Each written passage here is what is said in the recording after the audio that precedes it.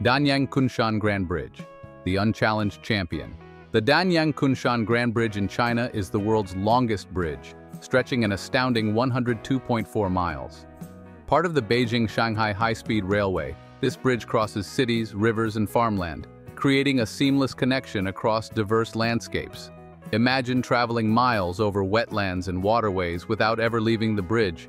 It's so expansive that you might forget you're even on one. This engineering marvel was completed in just four years, wrapping up in 2010 with a workforce of around 10,000 people. The project came at a massive cost of $8.5 billion, but the scale and design make it worth every penny.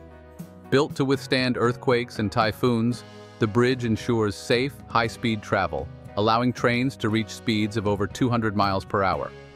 The bridge connects the economic powerhouses of Shanghai and Nanjing, playing a crucial role in moving both freight and passengers across the region. It seamlessly weaves through urban and natural landscapes, preserving the environment while blending into the scenery. If you're fascinated by numbers, you'll appreciate the 450,000 tons of steel and over 2 million cubic meters of concrete used in its construction. The Danyang Kunshan Grand Bridge is an engineering feat that highlights human capability and vision. As you reach the other side, you're left in awe of the sheer scale and achievement of this modern wonder.